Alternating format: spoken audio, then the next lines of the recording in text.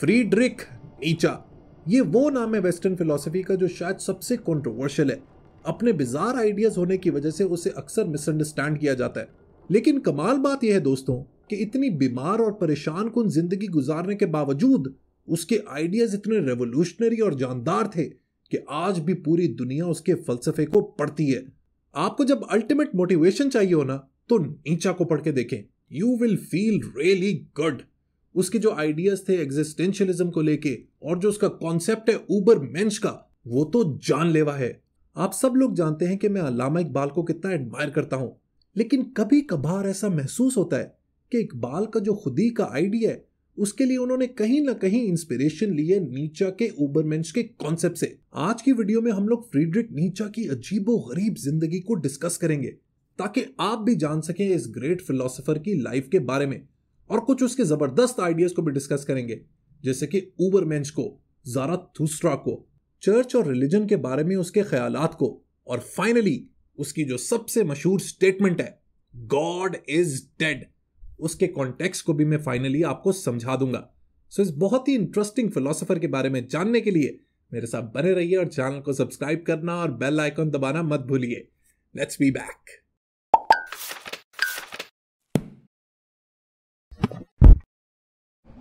दोस्तों, पहले ये बात नोट कर लें कि फ्रीड्रिक नीचा की जो असल प्रोनाउंसिएशन है ना, जर्मन जबान में, वो है फ्रीड्रीख नीचा।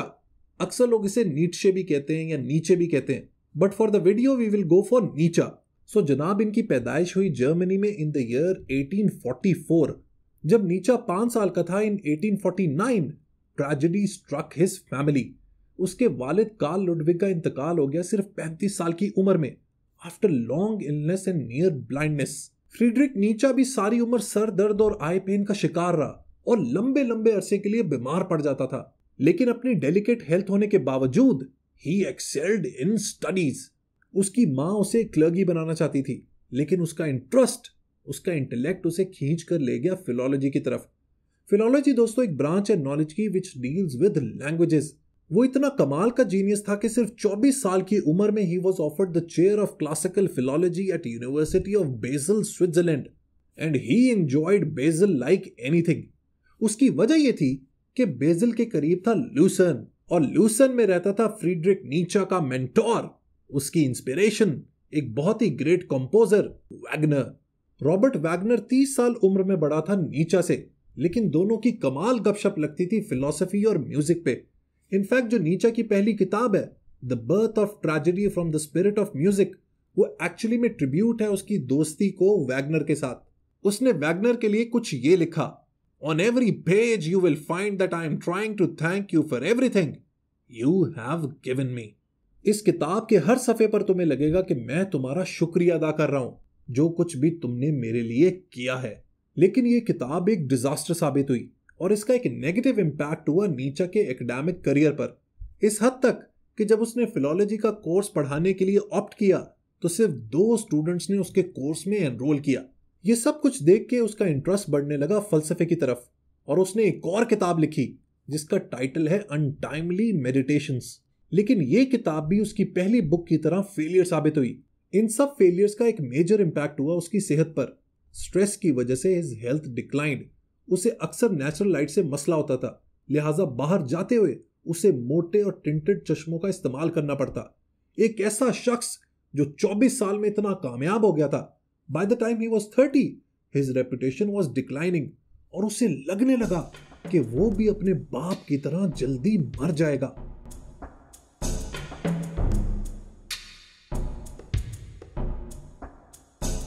लेकिन डिटर्मेंट तो वो था। इतनी ह्यूमिलिएशन और इंसल्ट के बाद उसने एक नया इंटेलेक्चुअल टर्न लिया। इन द ईयर 1876 उसने एक और किताब लिखी, जिसका टाइटल था ह्यूमन ऑल टू ह्यूमन और ये किताब उसने डेडिकेट की वॉल्टेयर को।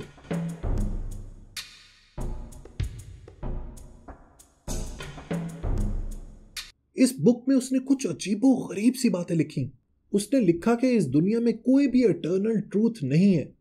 हर चीज़ डिपेंडेंट है सर्कमस्टांसेस पे इंक्लूडिंग रिलीजन मजीद उसने ये कहा कि साइंस के ऊपर भी आप ब्लाइंड फेथ ना रखो और उसको भी उसी तरह रूथलेसली क्वेश्चन करो, जिस तरह तुम मज़हब को करते हो।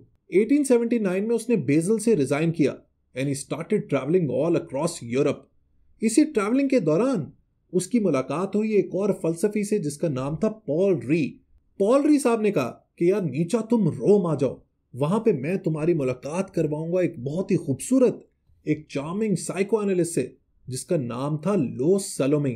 यहीं से इन तीनों के दरमियान एक अनयूजुअल सा रिलेशनशिप स्टार्ट हुआ, जिसे फ्रेंच जबान में कहते हैं मीना जा ट्रा हुआ कुछ यूँ था कि Paul Ree fell badly in love with Lou Salome, लेकिन लो सलोमी ने कहा कि यार तुम तो मेरे भाई की तरह हो। इनफैक्ट उसने उसको मशवरा दिया कि तुम हमारे रिलेशनशिप में एक और शख्स को ऐड करो। और एक एकेडमिक कम्यून बनाओ। यही वो मौका था जब पॉल री ने नीचा को रोम इनवाइट किया था। अब हुआ यूँ कि जब फ्रीड्रिक नीचा ने लो सलोमी को देखा तो वो भी उसके प्यार में पागल हो गया। He fell head over heels in love इधर और उसने पॉल री को रिक्वेस्ट की कि मेरे बिहाफ पे तुम उसे प्रपोज करो। इस प्रपोजल को भी सलोमी ने इनकार कर दिया। लेकिन इसके बावजूद वो अपने एकेडमिक और इंटेलेक्चुअल कम्यून होने की वजह से आपस में जुड़े रहे। दोस्तों, ये वो वक्त था जब नीचा वॉज़ ओवरफ्लोइंग विद आइडियाज़ याद रखें कि जब एक फलसफी या साइंटिस्ट को आइडियाज़ आते ना तो वो एब्सोल्युटली हिस्टेरिकल हो जाता है। इसी हालत में नीचा और लो सलोमी एक दिन लूसन में वॉक कर रहे थे और नीचा ने उसको अपने आइडियाज़ के बारे में और अपने लव के बारे में उसको वेहमेंटली बताना शुरू किया। ये देख के सलोमी घबरा गई और वो पॉल री के साथ भाग गई। She couldn't handle Nietzsche and hysteria इसके बाद नीचा ने अपनी एनर्जीज को चैनलाइज किया और 1882 यानी कि 1882 वो साल था जब उसने अपनी किताब द गे साइंस में अपनी मशहूर तरीन लाइंस लिखी। गॉड इज़ डेड अब अक्सर लोग इससे धोखा खा जाते हैं और समझते नहीं है कि इसके पीछे कॉन्टेक्स्ट क्या है। एक्चुअली वो इस किताब में एक पागल शख्स की कहानी सुना रहा होता है, जो बाज़ार में भाग रहा है और चिल्ला रहा है God is dead God remains dead and we have killed him इसके पीछे दोस्तों कहानी यह है कि ये वो दौर था जब यूरोप में चर्च का इन्फ्लुएंस आहिस्ता आहिस्ता खत्म हो रहा था। जो पुराने डॉगमास थे, लोग उनके ऊपर सवाल उठा रहे थे ये एनलाइटनमेंट का दौर था when religion gave way to rationality of thought Friedrich Nietzsche लिखता है कि कुछ लोगों को लगता था कि चर्च के डिक्लाइन के बाद मुआशरे में एक मॉरल वैक्यूम आ जाएगा which will lead to a big tragedy और इसी ट्रेजिडी को एक्सप्लेन करने के लिए उसने इन लाइंस का इस्तेमाल किया। इसके बाद फ्रीडरिक नीचा ने काम शुरू किया अपने सबसे रिमार्केबल और इन्फ्लुएंशियल फिलोसॉफिकल नॉवल पर, जिसका टाइटल है थस पोक जराथुस्ट्रा ये वही नॉवल है दोस्तों, जिसमें उसने ऊबर मेंश जैसे किलर और फैसिनेटिंग कॉन्सेप्ट को डिस्कस किया था। लेकिन ये ऊबर मेंश क्या भला है?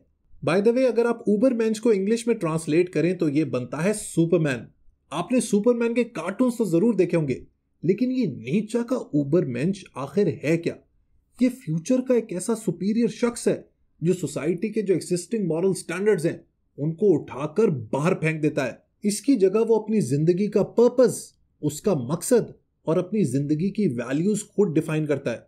इस ऊबर की कुछ बहुत ही इंटरेस्टिंग कैरेक्टरिस्टिक्स भी हैं।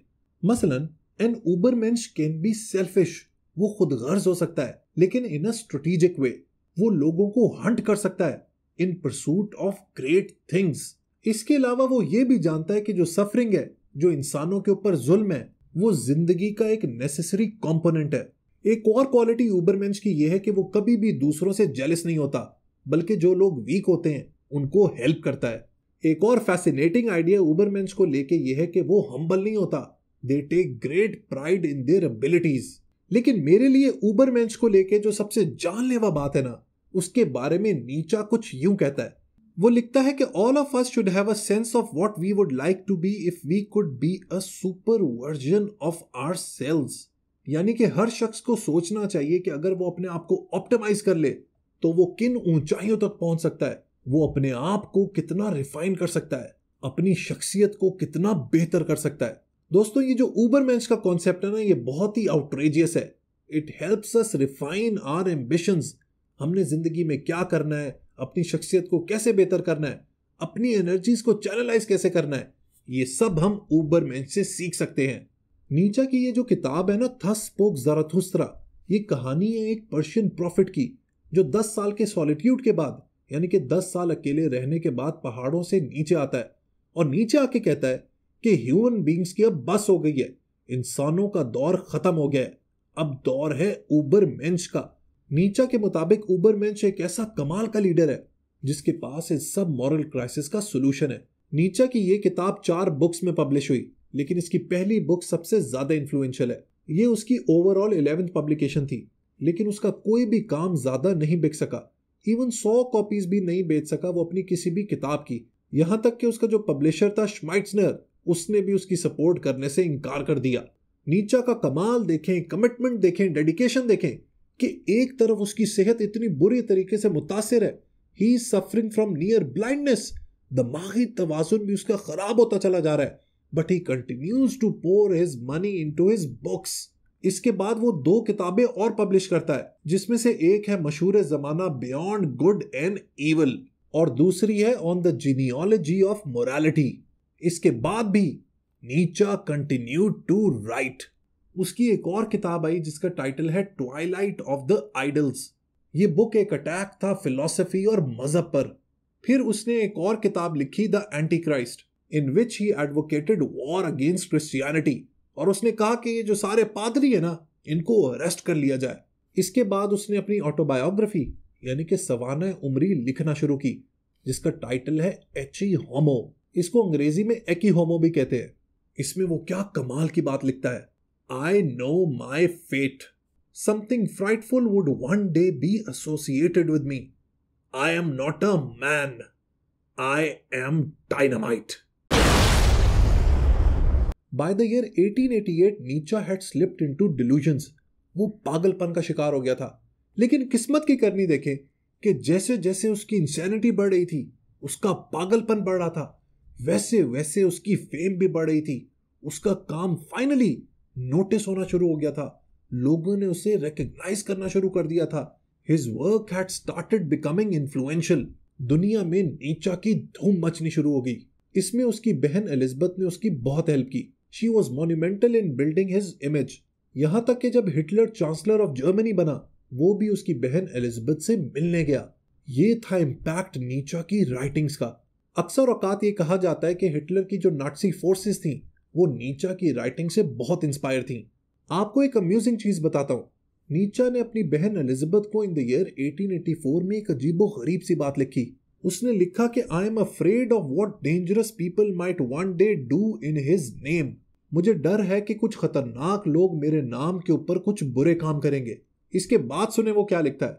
But that was inevitable for any great teacher one might end up a blessing for mankind or a disaster ये थी जनाब फ्रीड्रिक नीचा की ज़िंदगी की कहानी। ये फलसफे भी बिजार किस्म के लोग होते हैं।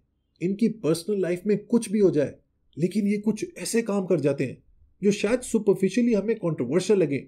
लेकिन अगर आप उनकी डेप्थ में जाएँ तो उसके अंदर बहुत बड़ा फलसफा छुपा होता है। कायनात के, हमारी ज़िंदगी के, हमारी शख्सियात के कुछ ऐसे राज छुपे होते हैं, जिनको शायद हम अपने बायस की वजह से जानना भी नहीं चाहते। नीचा भी ऐसा ही एक फलसफी था। यू माइट अग्री और disagree with what he said लेकिन एक बात तो सर्टेन है कि नीचा का इन्फ्लुएंस हमेशा कायम रहेगा। एक और बात दोस्तों जाते जाते वीडियो के लास्ट में मैं आपको बोलता चलूँ कि वेस्टर्न फिलोसफी को या वो बातें जो आपकी सोच से रेजोनेट नहीं करती, उनको भी ज़रूर पढ़ा करें। कोई आपकी सोच से अलाइन नहीं है तो उसका मतलब ये नहीं कि वो आपका दुश्मन है। अगर नीचा ने कहा है गॉड इज़ डेड तो ये ना कहें कि भाई हम तो इसको नहीं पढ़ेंगे, ये पागल का बच्चा है या इसको कुछ पता नहीं है। Always have an open mindset उन लोगों की मेंटालिटी को समझा करें, उनके कल्चर के हिसाब से, उनकी वैल्यूज़ के हिसाब से। कहीं ना कहीं आपको डेप्थ नज़र आएगी, और अगर ना भी नज़र आए तो वो आपके दुश्मन नहीं हो जाते। याद रखें it is the mark of an intelligent mind to be able to entertain a thought without accepting it video पसंद आई हो तो लाइक बटन ज़रूर प्रेस कीजिएगा। Until next time good bye